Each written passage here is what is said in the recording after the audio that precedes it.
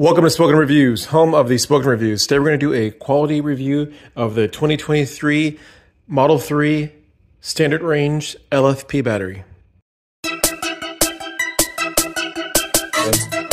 All right, guys, I'll start this off uh, by saying that this is my third Tesla now. Um, so some of the things, uh, it's debatable if I'm being too picky.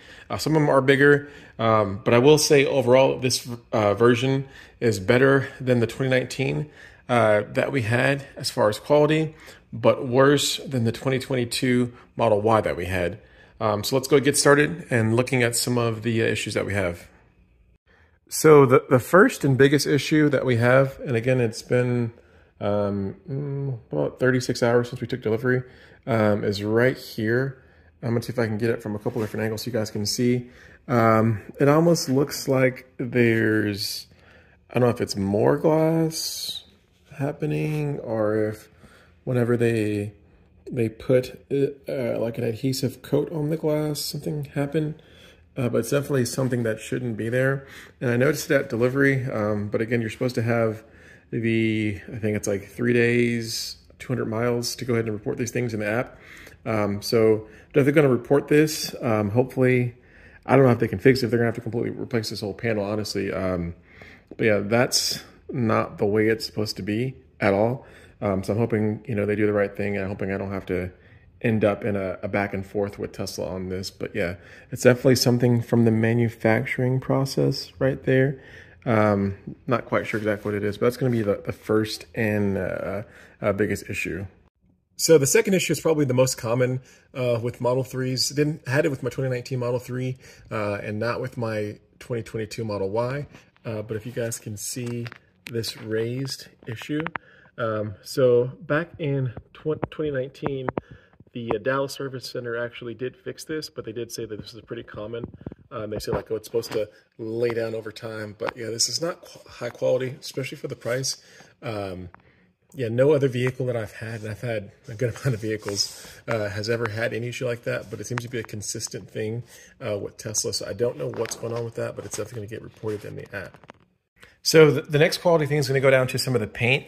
Um, I had a little bit of this um, in the Model Y, not in the 2019 Model 3, but if you guys can see uh, these edges, it's like this over overspray, almost like it dripped while it dried.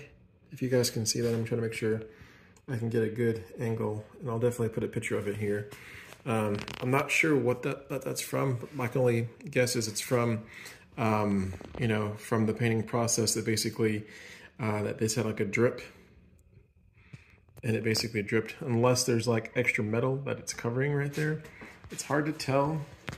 I had a little piece like that on my Model Y, um, but yeah, it's just kind of odd and not really high quality. Issue is going to be in these areas, it's like a rough texture. I don't know what's going on here. It almost looks like uh, like whenever you like patch a wall and he used like the like uh, like stucco.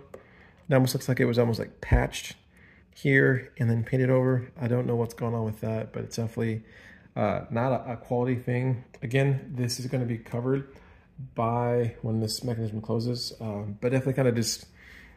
Again, this is kind of the, the, more picky thing of me of me being, uh, but yeah, they definitely need to do a little bit better job because any other competitor out there whether it's Ford, Ram, you know, Mercedes, BMW is not going to have these types of issues.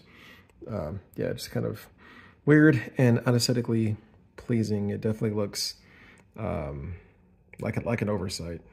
Next is going to be this gap on the roof or the sill. It's definitely a gap here where water is going to come in. Um, this sh shouldn't be like this. Um, I don't know how this passed their own quality inspection, but this is definitely an, an issue here. Um, they definitely need to fix this because this is just going to cause problems. Um, as it rains, water's going to pool. Um, yeah, that's not that's not as designed. Um, so definitely going to have that in the request for them to address that because it's definitely going to be an, an issue. So um, yeah, I don't know if you guys have had similar things with your roofs. Didn't have this at all in my 2019, but again, my 2019 was built 100% in Fremont versus this is a um, you know, using the Chinese LFP, which I still think they're making them in Fremont. I think that they're just bringing the battery packs over, from my understanding. But if I'm wrong, please comment below. I don't know if they're making them fully and bringing them over, but that's not what I understand. But yeah, definitely kind of a, a big oversight there. So definitely not quality. I'm going to quickly talk about the alignment. Um, I think it's fairly close, but definitely seems like a, just a, a, tad bit off. If you guys can see uh, from this angle where you can see it's coming and then there's a kind of a bigger drop off. So it's not exactly where it needs to be, but it's not like crazy off, but it's still a little off and it definitely can be tightened up on the quality. Again, you wouldn't see that with a Toyota um, or even with the Mach-E that I traded for, right? You're not going to see that type of thing um, just because other manufacturers, um, they just have their, their, uh, their processes are just a little more fine-tuned, right? So Tesla has amazing robotics and they can push out volume. Um, but within that pushing out volume, there's some oversight and things like that. So kind of real quickly on the, the trunk alignment, I'll say that it's pretty good and pretty tight. Uh, this used to be like a big issue. I think they've definitely done some improvements here. Um, you can kind of see this gap is nice and even, uh, but there is like an issue with the paint in there. You guys can see right there. Um, I'm not sure. It looks like maybe the metal is actually chipped and the paint itself is, you know, you know, being pulled in right there. So definitely, um, not aesthetically pleasing, but I don't think there's much they can really do about that. Um, but it's just luck of the draw that I got a, a, fabricated panel here that has a chip and they just painted over it. So a lot of, you know, major manufacturers are going to catch some of stuff and either scrap it or try to fix it. But, you know, this is overall, I'd say the back is pretty good. Um, a lot better than some of them that I'm seeing. So, so good job on the back alignment, just those issues on that side with the cracked metal and then the extra paint overage, you know, dripping happening there. On to the uh, passenger side back seat, uh, kind of similar where you have the trim piece that's a little off. It's not as major as the other piece, but it's still off. So I'm definitely going to put it uh, in my requests to see if they can get, get them to address it. Uh, but again, this type of stuff doesn't happen to other manufacturers. So I think Tesla is the best you know, vehicles with technology, but again, their quality uh, still has room for improvement. This being my third one, uh, I, would say this might be the one with the most issues, um, but they're all a little bit different. And then on to the other side, again, there's definitely an issue with the alignment here. So my other two Teslas didn't have this at all. Uh, so something about these standard LFP, um, how they place the roof, um, yeah, definitely not of quality. And this is just going to have uh, water pull, right? So it's definitely going to be an issue that needs to be resolved. Otherwise, I mean, uh, it's going to either leak and get into the headliner or it's going to be there and, and cause rust. So it's definitely not a good look. It's definitely not what you want for a brand new vehicle that's 24 hours old. Now, as far as the front hood goes, everything does look pretty good. Um, so there's no like crazy gaps. You guys can see the gaps are pretty solid and pretty straight the whole way through. Um, what you're looking for is for them to be even.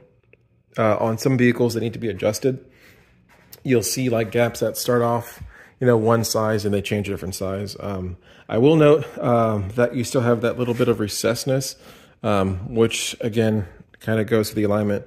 Um, I don't know how much it's capturing, but this hood piece, it's lower than this piece. So there's like a, a little um, difference there, but seems to be, you know, decent with intolerance. Uh, it's not perfect. It's not in anywhere near like Audi, you know, like German quality is going to be the top. Well, I'd say like Toyota and German quality, of course, can be like the top quality for manufacturing standards. Um, yeah, for sure. Like the quality is going to be the top. Uh, so Tesla's nowhere near that. I think, of course, their software is better, but the actual manufacturing uh, and the quality standards and just kind of like the level of care. Um, the, the issue kind of gets a little bit bigger here. Um, I get a little closer if you guys can see that a little better.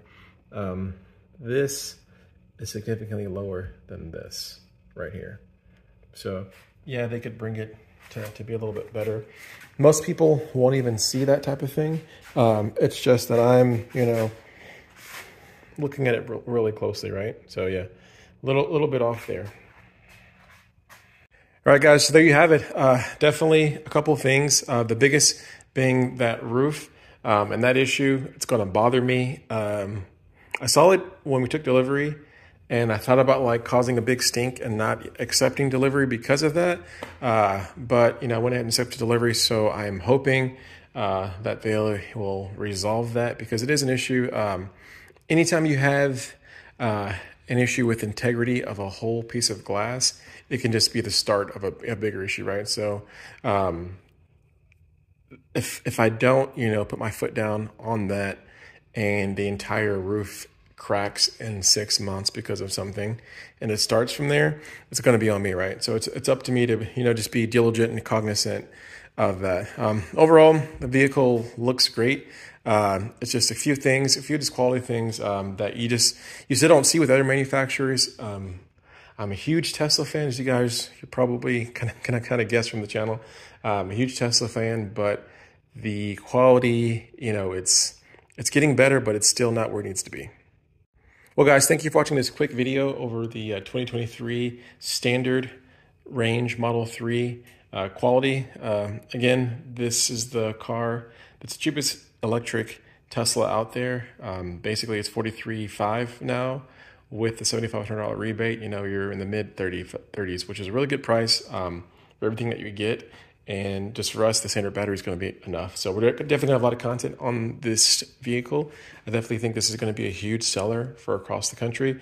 Um, and I think, you know, the fact that you do some, that's doing so much with a smaller battery is also better for the environment. Because I think most people, um, they think they need the, the bigger battery, but the reality is with Tesla's amazing charging network, uh, 95% of the time, most for most people, they're going to be around home within 100 miles, so they're going to charge at home.